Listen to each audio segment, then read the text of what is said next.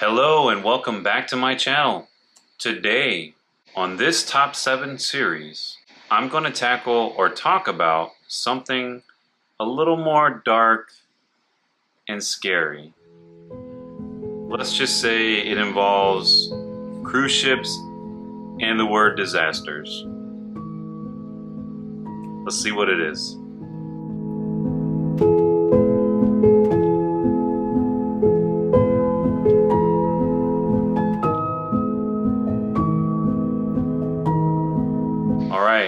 So on today's episode of Top 7, of course, we're going to be talking about the top seven cruise ship disasters. I think we all can think of two right away one, two, three. Uh, but let's start with number one.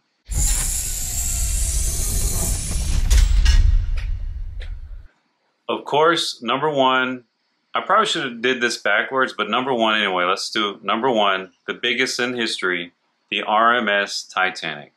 We all, I think you have to just, you have to be a baby right now or just grown up in a remote location to never have heard of the Titanic or the sinking of the Titanic. I think it's got to be, well, it is the number one cruise ship disaster. So anyway, let's read more about it. So on April 14th, 1912, that's the date in that will forever live in infamy. Uh, somebody in my house, my wife, remembers that date every year. I forget it, and she remembers it. Um, it's it impacted a lot of people's lives. It still is. The movie did. Just all the history and the stories of the survivors and the the great people that were lost and the captain going down with the ship. It's just one of those poetically kind of dark stories that we all kind of know. So anyway, of course, on that night, April 14th, 1912, the Titanic collided with an iceberg, and we all know what happened thanks to Leonardo DiCaprio and Kate Winslet and James Cameron and Kathy Bates and all those people. I, I can't name them all. Bill Paxton, rest in peace. A lot of good talent, very good movie. I'm I know I've watched it more than 10 times. Can't remember when I last watched it, but I will never forget that movie. Or the whole problem with the Titanic sinking, in my opinion, was a lot of the people in the upper decks and even the staff and crew who weren't in the below decks, they were kind of like nonchalant for uh, way too long about it. It was impossible that this ship, brand new, named Titanic, helmed to be one of the biggest, fastest, strongest, you know, unsinkable ships. It is sinking and I think a lot of people just refuse to accept that reality, and it's impossible. This is the first voyage. So it actually collided the 14th, but it didn't actually sink until technically the 15th, it's saying. Uh, early hours of April 15th. And insufficient lifeboats, lack of coordination and training, and the lack of like reality about it that we have to act now resulted in the loss of more than 1,500 lives. The Titanic sinking had a profound change in maritime law and the way they do things. Uh, a lot of things changed that time. So the Titanic is number one, and I think it's number one in all of our minds. Number two. Number two is the freshest, biggest thing I think in our minds. It happened in 2012 on board the Costa Concordia. We all know what kind of happened, very sad, but the cruise ran aground on January 13th, 2012, off the coast of Giglio or Giglio, Italy. The ship deviated from its planned course. We all kind of know what happened. The captain is, wasn't, is in big trouble. It struck a reef, and the ship's captain was criticized for delaying the order to abandon ship. Tragically, 32 people lost their lives. And then we all, of course, remember seeing the wreckage for some time just sitting there off the coast on that reef, kind of just, it fully like turned on its side, but it prevented it from falling further off, they said, in a way that helped save some people's uh, lives.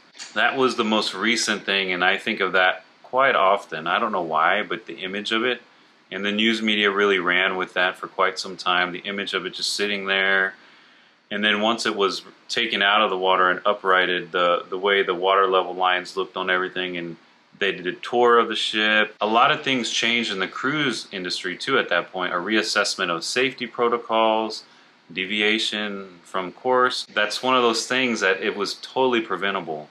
And it caused a lot of issues with the Costa brand for quite some time. And I, it's one of those things I will never forget the imagery of that. And needless to say, it was preventable. Again, highly preventable. And it, it was all due to some sort of bravado type thing with the captain, from what I re recall. But anyway, the Costa Concordia in 2012, January 13th, 2012. Very sad day. I don't know if I said it, but number three. Now, I haven't heard of this or I don't know this one, so I'm going to kind of read this a little bit more. The SS Eastland, 1915. The SS Eastland was a passenger ship based in Chicago and operated by the St. Joseph Chicago Steamship Company. Wow. On July 24, 1915, during a planned excursion across Lake Michigan, ooh, that water's cold, the ship rolled over and capsized, still tied to the dock in, in the Chicago River. The rapid capsizing in shallow waters prevented many passengers from escaping resulting in the loss of over 800 lives. The disaster was attributed to the ship's design and inadequate stability measures and overcrowding. It led to improved safety regulations, including stricter stability standards and the requirement for sufficient life-saving equipment on passenger vessels. I would I, I would have thought that the Titanic would have kind of nipped that in the bud, but I guess that was only three years later, and maybe because it wasn't on the ocean, it was more considered, oh, nothing's going to happen. And if the ship design wasn't tested, I've never heard of that. So I'm, I'm going to definitely hope I find some photos and I can add to this. But very interesting and also very preventable, it sounds like. I think a lot of these so far have been preventable. Like maybe the Titanic, some people can argue it wasn't preventable, but definitely I think it could have been preventable, in my opinion. And back to that old thing, could have Jack floated on the piece of wood uh, with Rose. I don't know. That's a big thing. I kind of think they could have, because Rose was already wet and like some of her body was wet, so I think he didn't want to get on it because he didn't want her to fall into the water. But anyway, all right, I'm back. I had to change the battery and get uh, some more memory. So back to the SS Eastland. Uh, I've never heard of it, but that's interesting. I'm gonna have to look at this because I never I never heard of something that had 800 lives lost in Lake Michigan area or Chicago River area. But that's pretty big. But anyway, just like Titanic, after this disaster, a lot of things went into place to changing the minimum requirements that ships, ferry ships, cruise ships, and sh large vessels that carried a lot of people uh, had safety wise and evacuation wise. So every disaster we learn from it basically. Sad as it is, we do get better and hopefully we don't repeat that mistake. Number four. I've heard of this before too. Uh, the MS Estonia in 1994, so not that long ago in the scheme of things. I'm going to read it though because I don't know it as well as the other ones. The MSC Estonia a Swedish-owned ferry sank in the Baltic Sea during a storm on September 28, 1994. The ship was en route from Tallinn, Estonia to Stockholm, Sweden, when it encountered heavy waves. The bow visor, a large door-like structure at the ship's front, failed due to the extreme weather conditions, allowing water to flood the car deck. The ship quickly lost stability and sank, claiming the lives of 852 people. I don't remember it being that costly. That That's very sad. Mostly to, due to drowning and hypothermia. The accident revealed design flaws in the ship's construction, including watertight integrity and sufficient emergency procedures. As a result, safety regulations were revised and enhanced the stability and safety features of the passenger ferries. That's sounded preventable, but maybe not the accident itself, because how do you know it's going to fail? It was probably tested and rated to be fine. But uh, then again, like Maybe back then too, our weather warnings weren't as advanced, but I would think they would be. That's not that far off. What thirty something years, thirty years? It's just one of those things. I think definitely the the amount of loss could have been mitigated at least, or maybe if the procedures were in place, no one could have been lost. Uh, but that's very sad. It sounded what happened like it. It just happened so quick that there was no time for the crew to prepare or to help people.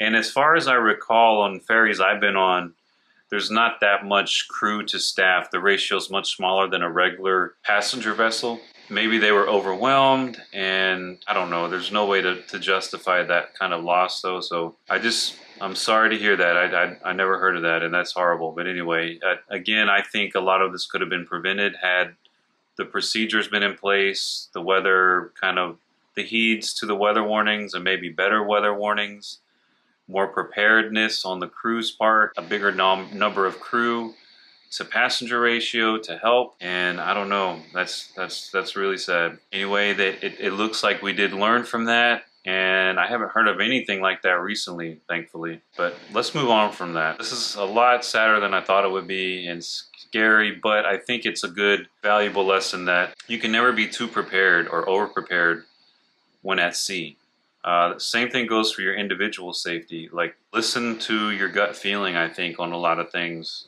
Let's move on. Number five. Never heard of this one here, but the MV Wilhelm Gustloff in 1945. Uh, the MV Wilhelm Gustloff, originally built as a cruise ship for the German labor front, was requisitioned, requisitioned by the German Navy during World War II for use as a military transport. On January 30th, 1945, while evacuating German civilians and military personnel from East Prussia, the ship was torpedoed by a Soviet submarine in the Baltic Sea. The overcrowded vessel quickly sank, resulting in the loss of an estimated 9,000 to 10,000 lives, mainly civilians. The incident remains the deadliest maritime disaster in history, so we need to correct this. This is deadlier than the Titanic. I did not know that. Never heard of this myself, and I should have. Maybe I did. I just don't recall.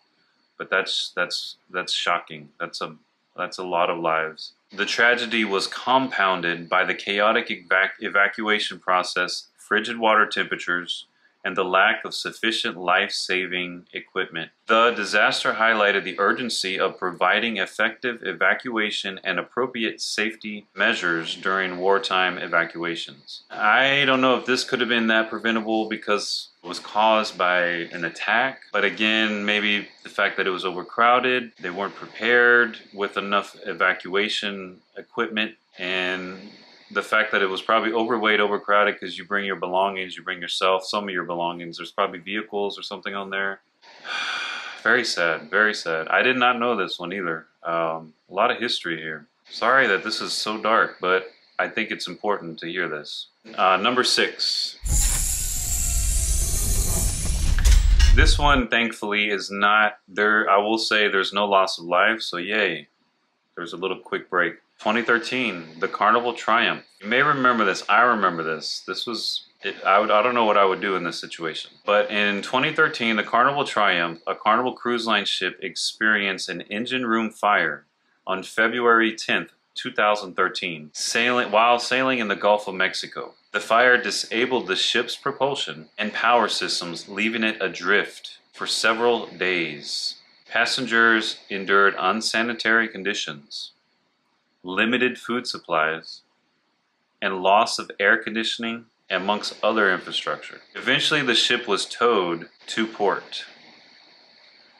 No lives were lost, but everybody was very upset. The incident drew attention from the media. I remember that running for a while. They're still out there. And they would show helicopter footage of people on deck uh, that they were getting sandwiches and I think they were lowering some things and then they evacuated some people who were in dire need of medical assistance via rope and helicopter. The incident drew attention to the issues such as fire prevention, backup systems, and emergency preparedness on the ship's part, It prompted discussions about the need for redundant systems and improved emergency response procedures in the industry. I remember this, and it, it was shocking to me that the amount of food that they did not have, like ready to eat food that wasn't in need of refrigeration or cooking. So, like what breads, canned goods, and that kind of kind of thing. I was shocked that there wasn't that kind of minimum kind of rationing kind of thing, even if it's just not good quality, but at least something that had, uh, you know, sustaining nutrients in it. Uh, I will say, you know, this was in 2013, so 10 years later, in 2023, we just got off the Carnival Horizon for our second time, and we did the Behind the Ships Fun Tour.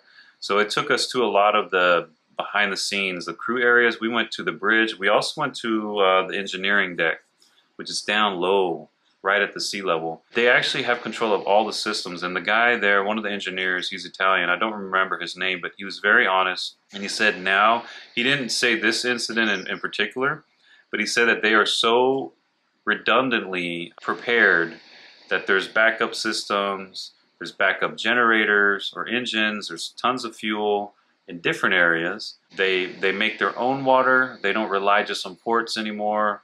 So they can filter and desalinate water straight from the ocean for drinking and showering, but mainly drinking, that's the most important thing. They have tons of food and the cap capability to keep it fresh. He told me with the amount of fuel they have, they can sail for about a month. He said they could do two to three cruises.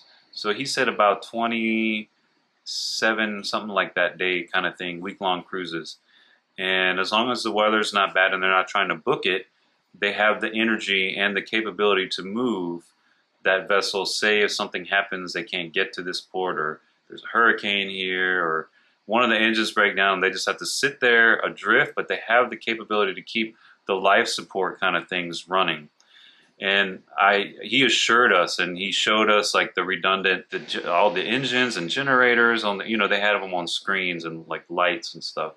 And I, I felt very comfortable with Carnival, and I think all cruise lines in general, I think Carnival just got unlucky that it happened to them, but I don't think they all, I think they all learned from that uh, moment in time and have corrected any potential for that happening or happening for that amount of time. We have heard, you know, there's been minor fires, you know, with the smokestacks and other things. They can't turn and they're whatever, but it happened, it you know, instead of being at this long, it was this long, and it was a much easier thing.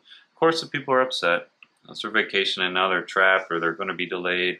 But this will never, I, am pretty sure, will never happen again to that amount to, or to that degree. Carnival and all the cruise lines learned a valuable lesson in, in 2013, and I think 10 years later they've they're overdoing it. But you can't overdo safety, so kudos, kudos. And again, this was no loss of life, so that's good. Number seven, the last one, number seven.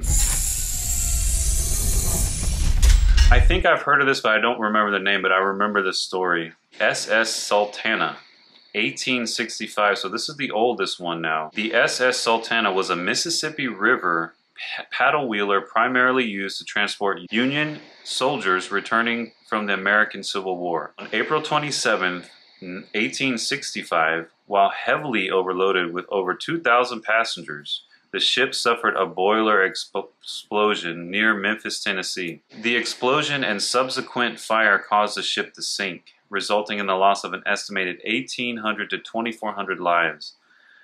The disaster is often overshadowed by the end of the Civil War and the assassination of President Lincoln, which occurred around the same time. So that may be why a lot of us don't know it. The tragedy highlighted the dangers of overcrowding, poor maintenance, and inadequate safety standards on steamboats. It led to improvements in boiler safety regulations and stricter enforcement of passenger capacity limits on river vessels that that's a lot of people for back then on any any kind of vessel. That's that's a lot of people on nowadays standards, in my opinion. On not on mega cruises, but that's a lot of people. Uh, so it was overloaded again, poor maintenance. So the the faulty boiler equipment. It was overcrowded, overloaded, and there was a fire. So that causes hysteria. It's just it's one of those things that with one little thing, everything is just barely hanging on, and it just takes one what uh, matchstick to just set it all up. One little push That's sad, and that's like the oldest that I see uh, on this list that I found. But that might be why too, because it happened during a very pivotal time in our lives, like the end of the Civil War, the assassination of President Lincoln. But that might be why I don't recall it so well, uh, and I don't remember the name SS Sultana. I probably will remember it now in 1865. So those were the, the top seven cruise ship or passenger ship uh, disasters, but cruise ship disasters, and a lot of them. About oh, half of them involved wartime or war incidents so that that kind of it shows you it was quite in the past. We have a few recent ones, mainly the Costa Concordia, of course the Estonia in 1994. That that one I don't remember it being quite as bad as it is, and that that's horrible, very horrible. And of course you have the Carnival Triumph, which is dead at sea, but no one did um, lose their lives on that one. It's just a bad experience all around. So these ship disasters have had far-reaching consequences, obviously, prompting advance, advancements in safety regulations, we talked about that, emergency procedures, and the design and construction of cruise ships.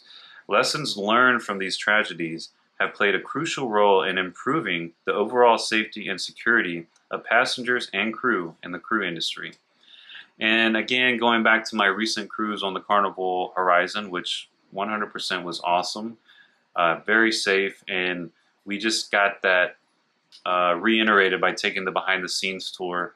I was very impressed with Carnival, and I can only think that this is like a minimum of what they do. Uh, I'm sure there's even more stringent testing and safety protocols.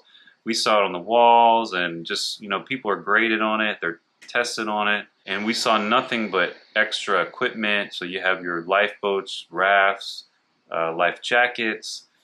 Um, but I was very impressed overall with the safety on my most recent cruise, and I think the cruise industry is, for the most part, a safe business. I think where anything happens is when someone goes against the SOP or the protocol, whether that be the crew or a passenger or both. I don't think ships now just get into trouble. Of course, maybe a fire or something, but they have they have even more state-of-the-art fire suppression fire tight doors, things that it stops oxygen in the in the room, not where people are, but say an engine room or areas like that. Anyway, it's just amazing technology. I feel 100% safe on board a Carnival ship or any cruise ship that I've been on. Maybe not a casino cruise ship that I've been on. that I wouldn't a day one of those day ones that you go out in, in international. Anyway, that was really rocky and it was a miles like a thunderstorm out there, but I wouldn't. Anyway, that's another topic. But those were the top seven cruise disasters in American, well, in world history, actually. You know, scary, not forgotten, but we learned a lot. So let's keep cruising and let's remember the people who can't cruise anymore, basically. The crew and industries and governments that learn from these disasters and have changed or just improved in general their standard. Hopefully this wasn't too sad and it is history. History is sometimes very sad, but it is real and it really happened.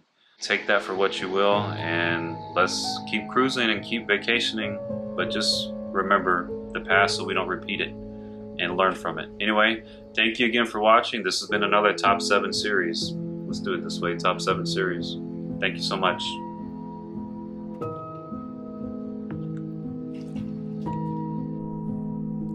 Thank you so much for watching, and I'll see you in the next one. If you can, go ahead and smash that like button and subscribe to see more. Bye.